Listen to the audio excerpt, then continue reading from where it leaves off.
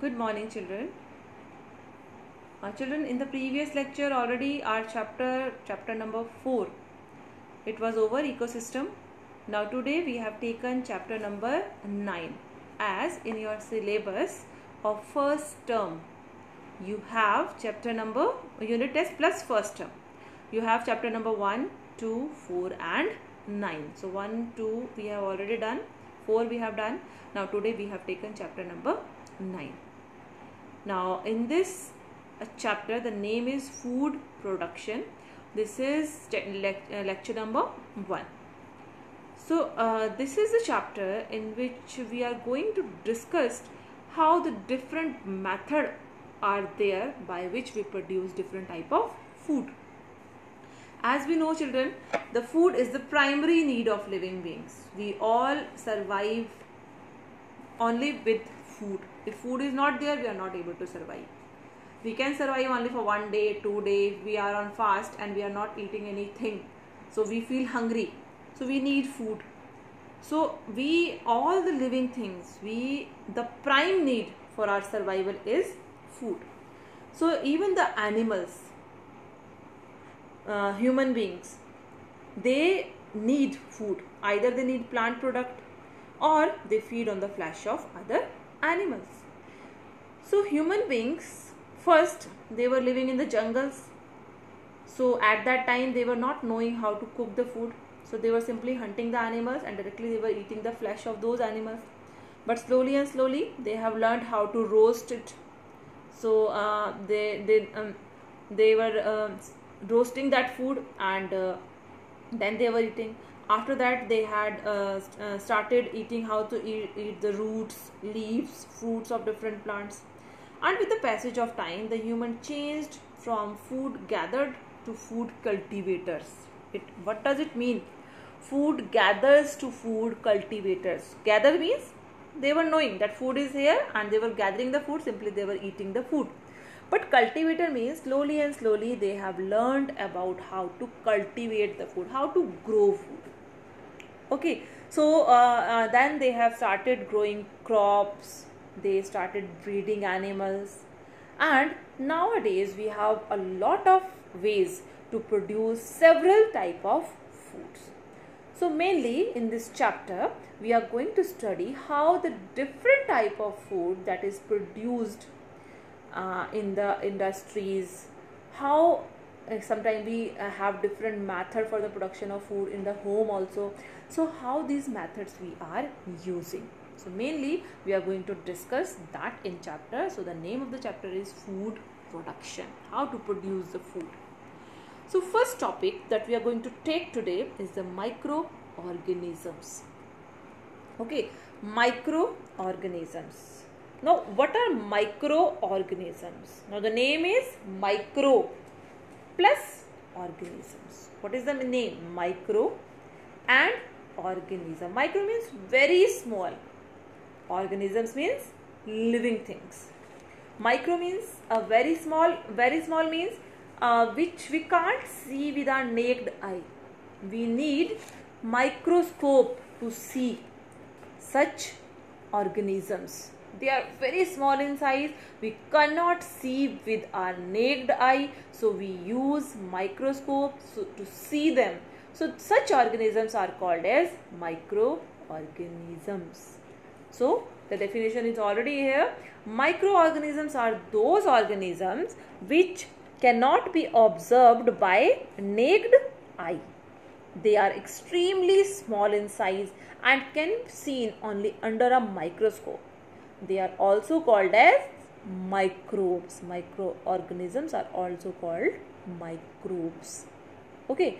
Now the science which deals with the study of microorganisms.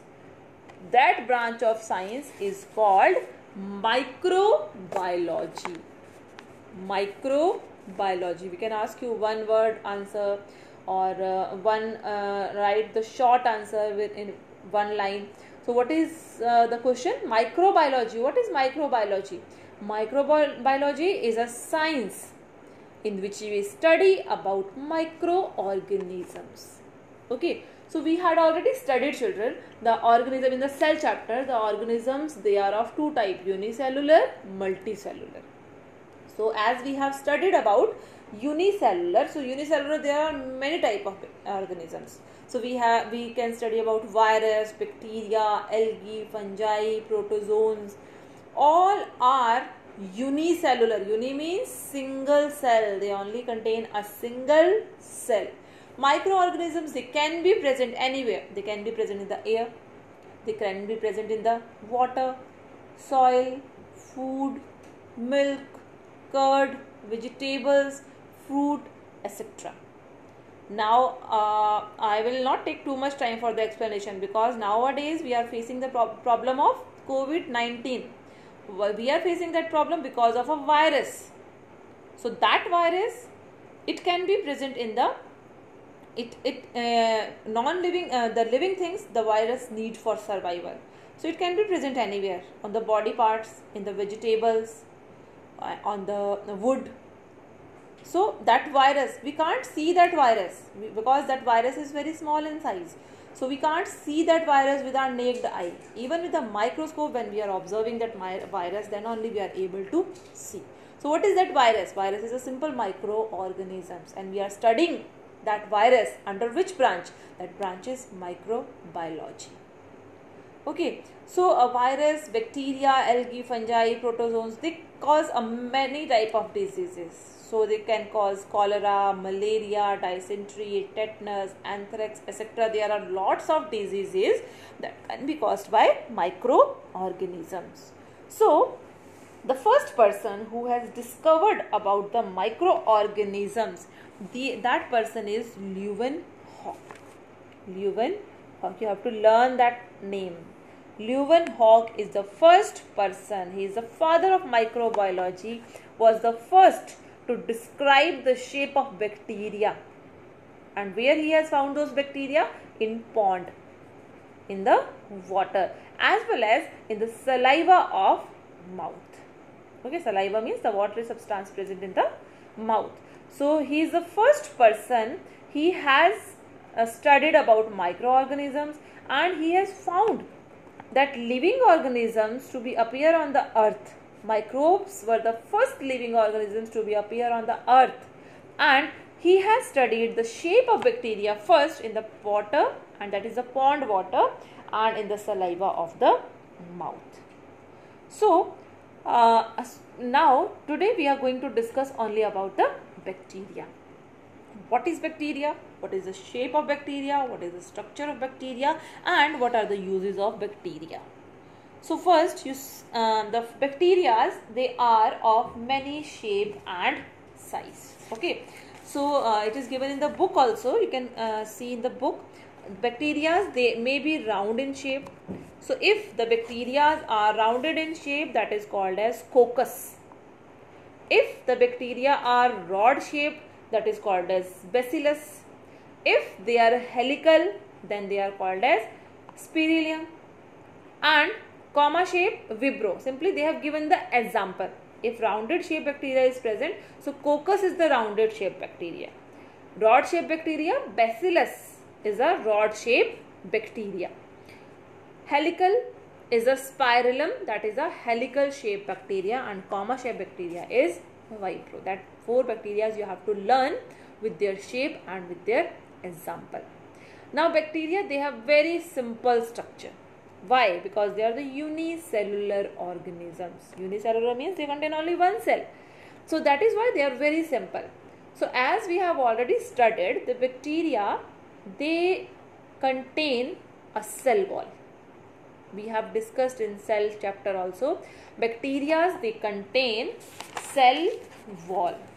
So when bacteria, they contain cell wall, cell membrane, other than that, they contain one capsule. What is that capsule? Now, capsule is simply a slimy, gelatinous protective layer in the form of capsule. That is simply a layer, slimy layer, gelatinous layer on the bacteria. That is the outer layer. You can see here in the diagram, this is the outer layer that is called capsule. Inside the capsule, there is a presence of cell wall that is a cell wall. Inside the cell wall there is a cell membrane. Already we had discussed all these parts in chapter cell. If you are not uh, um, able to remind those things please go to cell chapter. Because already what is the use of cell membrane cell mem uh, cell wall? We have already discussed in that chapter. So cell uh, wall cell membrane these are the parts which are present. Now this capsule what is the function of capsule? Capsule is simply a jelly like slimy protective layer outside the bacteria. It is a thin membrane. Cell wall. Cell wall is membrane below the capsule. And the cell membrane inside the cell wall is present a membrane that is called cell membrane now inside the bacteria, cytoplasm is present. Cytoplasm is a liquid material present inside the organisms. So cytoplasm it contains glycogen granules. Mainly it contains glycogen granules. Okay. Other than that unicellular organisms they contain chromatin material. Chromatin fibers that is a nuclear material. Now this nuclear material, what is the use of that nuclear material? It is a DNA that help in the replication. Replication is when the uh, cell is going to divide. At that time, the DNA will be helpful. So that is the main part of that unicellular organism. Now uh, you can see this thread-like structure that is a flagellum. Now what is the use of flagellum? Flagellum help in the movement from one place to another, whether they are present in water, whether they are present in air. So, the, because of those flagellum, the bacterial cell, they are able to move from one place to another. The number of flagellum depend on the cell. Sometimes they are many in number, sometimes they surround the complete cell, sometimes only a single flagellum is present in the cell. Some bacteria require oxygen to survive. Bacteria they also need oxygen to survive, but all the bacteria don't don't need uh, oxygen. Some of them they need oxygen, but many of them they don't know don't uh, need oxygen for their survival. If they are getting a proper suitable temperature, air, uh, in that also they can easily survive. So, if a proper water is there, proper food supply is there, proper air is there, the bacteria are able to survive. So, you have to learn that diagram and the structure as well as as I have told you four types of shapes. Four type of shape I have given you. Round shape is coccus, rod shape is bacillus, helical shape is spirillum, comma shape is vibrio. So these also you have to learn very carefully. Now the next topic that we are going to take now is the, we have discussed about the shapes of bacteria. After that we had discussed about the uh, structure of bacteria. Now the next topic, very important topic is that, that is the uses of bacteria in the food industries. As the name is food production, the name of chapter is food production. So here now we are going to start how we are going to produce the food. So the topic is uses of bacteria in food factory food industries. Bacteria, they are also used in industries. Okay. Now, uh, children, uh, as you all uh, like curd, we all like cheese, we all like uh, uh, paneer, uh, we all like lassi. So, which this type of product we are able to make at home also, but sometime when we go outside for outings, these products are easily available in the market also. So those products the industries they just send they make the products and send. So such type of products when they are available in the market we are able to use. Why? Because the industries are using bacteria. They are using viruses. They are using different type of things to make the food items. So biotechnology is the branch in which they are using the microorganisms and they are making the different product. So first is the curd. If you will ask your mother, just ask your mother how to make curd. What your mama does? she just take a small spoon of curd and then she add that one spoon of curd in half kg of milk or maybe in 1 kg of milk and then she she keep that milk for some time and after that uh, suppose she has kept the milk in the evening and morning time the curd is ready. So why that one spoon of curd we have added to the milk? Because that one spoon of curd it contains bacteria. And what is the name of that bacteria that is present inside the curd? Very important that is lactobacillus bulgaricus.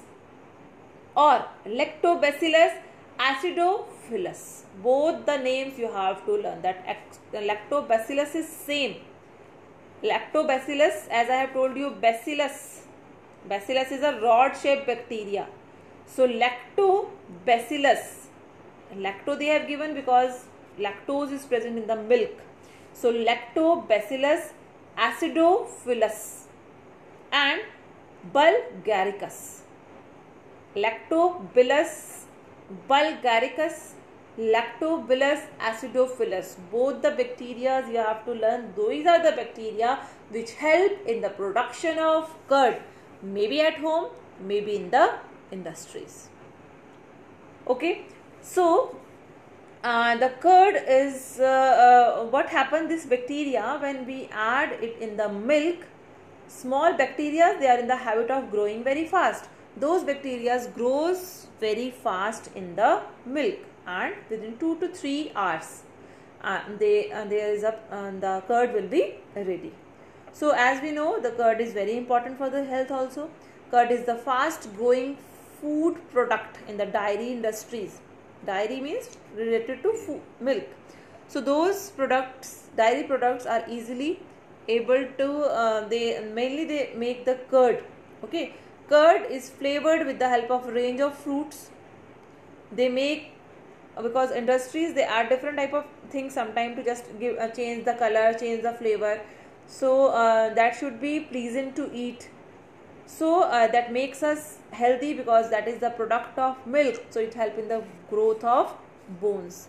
It prevent osteoporosis. Osteoporosis means when our bones become weak that process is called osteoporosis so it help in the prevention of osteoporosis in adults so that is the curd now uh, other than that Curd can be made from milk in dairy animals like buffaloes, cows, milk. They are the common sources. Other than that, uh, as I have told you, the starter is added and the process by which the curd is going to make that is called fermentation process. Means 2 to 3 hours. The fermentation is going into the curd and there is a production of curd. Other than that, uh, bacteria is used in the production of cheese so cheese is prepared. Ask your mother how she prepares paneer for you. So when the paneer is ready, when we add lemon or uh, sometimes we add citric acid to the milk and uh, uh, the milk it get uh, the solid part separates and the liquid part remains. So that solid part we use to make cheese. Now what is the process of making cheese? First we do the curdling of milk. Curdling of milk means we add lactobacillus acidophilus or we add citric acid, we add lemon and we just it will help in curdling of milk. When it curdles, the curd the solid part of that curd is taken and the moisture will be removed. Okay? And that curd uh, that uh, the solid part of that curd will be washed many times just to make it in the uh, just to make it very soft. Okay? After that some salts are adding just to give the flavor taste to the cheese and then the suitable temperature is given to the cheese so that it can be stored for a long long time in the industries and it is it is available to us in different shops and different malls. So very important that these four points you have to remember and you have to learn. After that it is help in the production of tea so tea can be also be made because when we uh, as we know the tea is made from the tea leaves. We just take the tea leaves and uh, because tea leaves they are uh, very bitter in taste. So we add bacteria in that. So it will remove the bitterness of tea uh, leaves and that it will be used for making tea. It is used for making alcohol and vinegar. The bacteria are also used for making alcohol and vinegar it is also uh, the bacteria they uh, are present in the intestine of herbivorous animals like cow and buffalo.